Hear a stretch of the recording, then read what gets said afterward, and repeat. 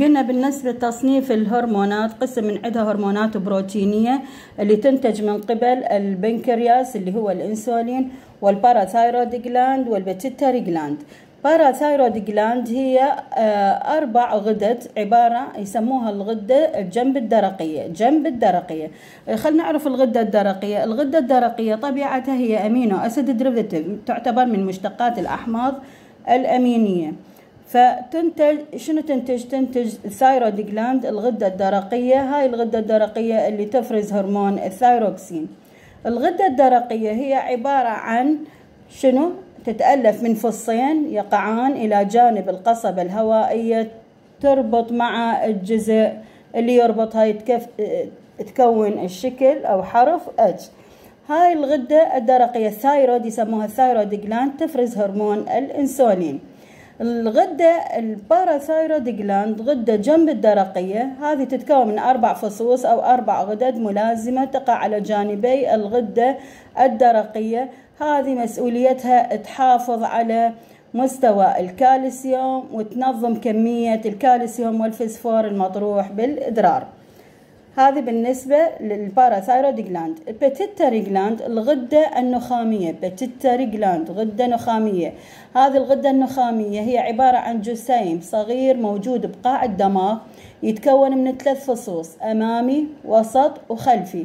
الأمامي هو المسؤول هو أهم جزء بها وهو المسؤول عن عمليات النمو والتكامل البنائي لل الجسم وهو اللي ينطي الإيعاز إلى الغدة الدرقية تفرز هرمون الثايروكسين والغدة الكظرية للأدرينالين والنور إدرينالين وهكذا. فهي المسؤولة عن إعطاء الحافز وبالتالي عند إزالة هذه من الحيوانات هاي الغدة النخامية فيتوقف النمو ويتوقف الأعضاء التناسلية وإلى آخره. فإذا هذه كلش مهمة. قلنا هرمون الثايروكسين يفرز من قبل ال thyroid gland وال thyroid gland هي شنو هاي الغدة؟ هي عبارة عن شنو؟ تفرز هذا الهرمون اللي هو عبارة عن amino acid derivative واضح؟ الثايروكسين الغدة الدرقية شو تسوي؟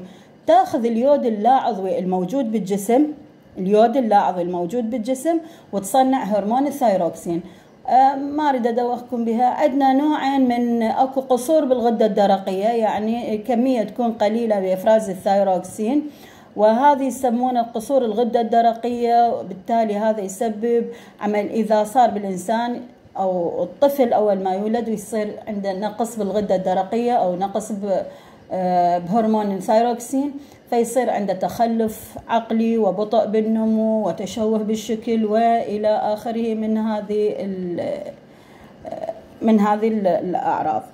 أما القسم الآخر يكون عنده فرط يسمونه فرط الدرقية يعني زيادة بإفراز هرمون الثايروكسين وهاي كل ما تكون زيادة راح يصير يسموها من النوع السام وبالتالي آه، تكون آه، كبر بحجمها. بالتالي يؤدي إلى لازم عملية جراحية وتنشال هذه الغدة. النوع الثالث steroidal hormones steroidal hormones الهرمونات الاستيرويدية الهرمونات الاستيرويدية هي اللي تحتوي على نواة الاستيرويد. إذا تتذكروها الاستيرويد قلنا هي عبارة عن شنو؟ ثلاث حلقات سداسية أو وحدة خماسية هي هاي مركب الاستيرويد. فهي عبارة عن هرمونات استيرويدية مثال على مثل من؟ include steroid nuclei يعني هي تحتوي على نواة الاستيرويد مثل من؟ مثل يا هرمون adrenal cortical hormones هرمونات القشرة الكظرية يسموها هرمونات adrenal cortical تدرون ادرينالين واضح؟ adrenal cortical hormones هرمونات القشرة الكظرية. الهرمونات الاستيرويدية هي هاي الكظر يعني الكظر هي عبارة عن أجسام مسطحة عبارة عن أجسام مسطحة صغيرة مثلثة الشكل.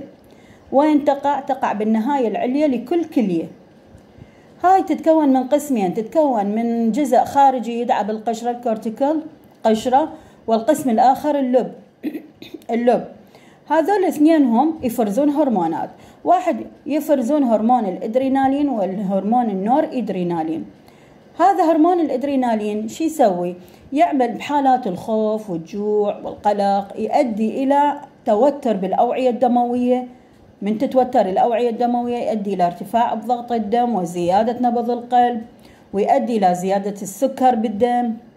لكن النور إدرينالين ما يأثر على السكر نفس تقريب الأعراض ما يأثر على السكر بمستويات خفيفة لكن يأثر على شنو؟ ضغط الدم الشرياني فيفوق تأثير الأدرينالين بارتفاع ضغط الدم.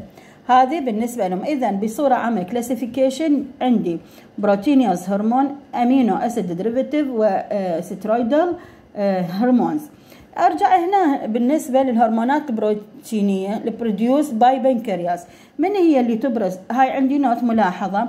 The function of pancreas قلنا البنكرياس تفرز هرمون الإنسولين. آه وظيفة البنكرياس تكمن في ما يسمى بال islet لانجرهانز. يسموها islet لانجرهانز بجزر لانجرهانز لانجر هانز سامعين بيها لو لا هاي الجزر contain 3 types of 3 تحتوي على ثلاث أنواع من الخلايا. ألفا بيتا جاما. ثلاث أنواع من الخلايا. هاي جزر لانجر هانز هي آه لها أهمية بإفراز آه أو تحتوي على قلنا ثلاث أنواع من الخلايا ألفا بيتا جاما.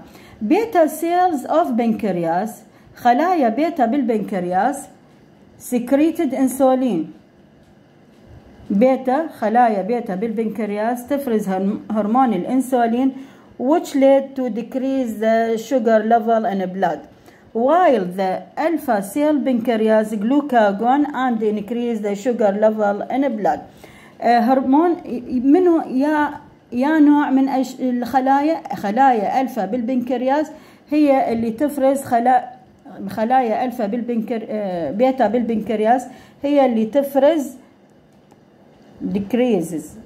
هاي ما جاي يصير واضحة مره decreases the sugar.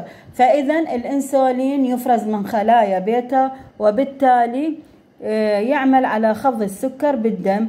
في حين خلايا ألفا بالبنكرياس راح تفرز secreted glucagon جلوكاجون واضحة عندكم.